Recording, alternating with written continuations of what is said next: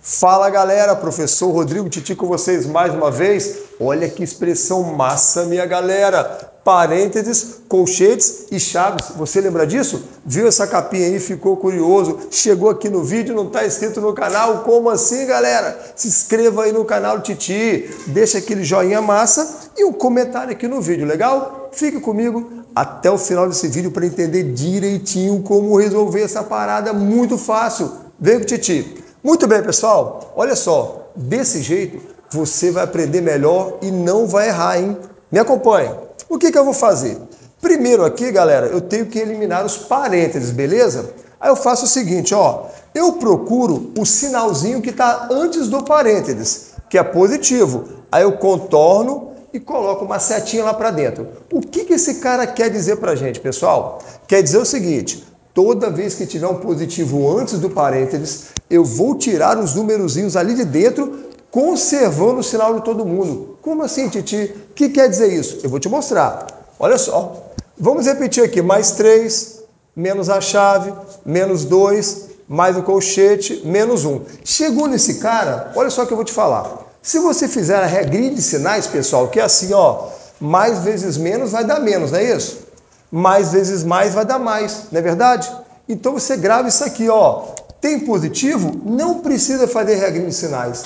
É só você tirar os números conservando o sinal. Então esse 4 aqui que era negativo, continua. E esse mais 7 continua, beleza? Esse cara aqui que está fora do parênteses repete, repete colchete, o mais 8 e a chave. Tranquilinho? Vou te falar mais uma coisa, dúvida que pinta na cabeça da galera. Titi, esse sinal aqui? Você não botou ele aqui, ele foi para onde? Galera, ele vai sumir. Ele está ali só para te falar o que, que vai acontecer. Você não coloca ele embaixo não, legal? Vem comigo, hein? Próximo passo. Vou eliminar agora, galera, os colchetes. O que, que eu faço? Eu procuro o sinalzinho que está antes do colchete. Quem que é esse cara, pessoal? É o positivo, beleza? Então você contorna esse sinalzinho, joga uma setinha lá para dentro do colchete e pensa com o Titi.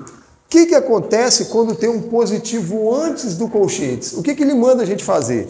Ele manda a gente retirar os números, conservando o sinal de todo mundo, legal? Então vai ficar assim, ó, mais 3, menos, repete a chave, repete menos 2.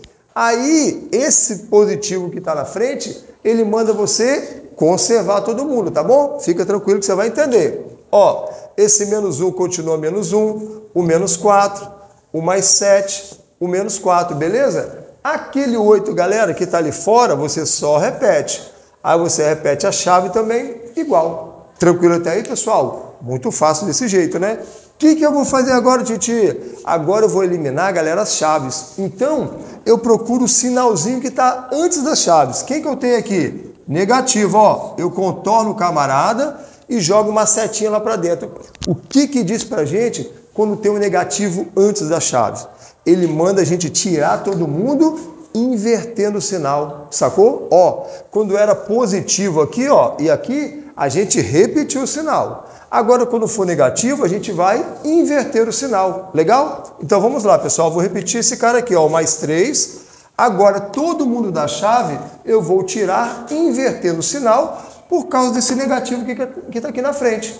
Então, esse menos 2 sai mais, o menos 1 sai mais, o menos 4 sai mais. O mais 7, pessoal, sai menos, o menos 4 sai mais e o mais 8 sai menos. E aí, galera, já estamos no final, aguenta aí, aguenta aí, hein? É o seguinte agora, agora que eu eliminei os parênteses, os colchetes e as chaves, é só você fazer a regra de sinais e juntar essa galera. Mas vamos fazer desse jeitinho, que é bem legal? Primeiro, nós vamos juntar os positivos. Mais 3, com mais 2 dá mais 5, com mais 1 dá mais 6.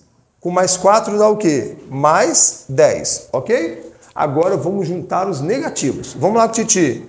Eu tenho que... Ih, galera, esqueci desse cara aqui, né? Tem esse mais 4 aqui que eu pulei, né? Então que vai dar 14, beleza? Não tem problema não. Só a gente voltar e acertar. Agora os negativos. Menos 7 com menos 8 vai dar o quê? Menos 15. Titi, agora ficou fácil, ó. Somei aqui ó, os positivos, beleza? Depois, juntei aqui ó, os negativos, tá aqui. Agora eu aplico a regra de sinais para terminar. O que, que eu faço, galera, na adição e subtração? Sinais diferentes, conserva o sinal do maior. Quem que é o maior, né? O 15? Então o sinal dele vai ser o quê? Negativo. E subtrai.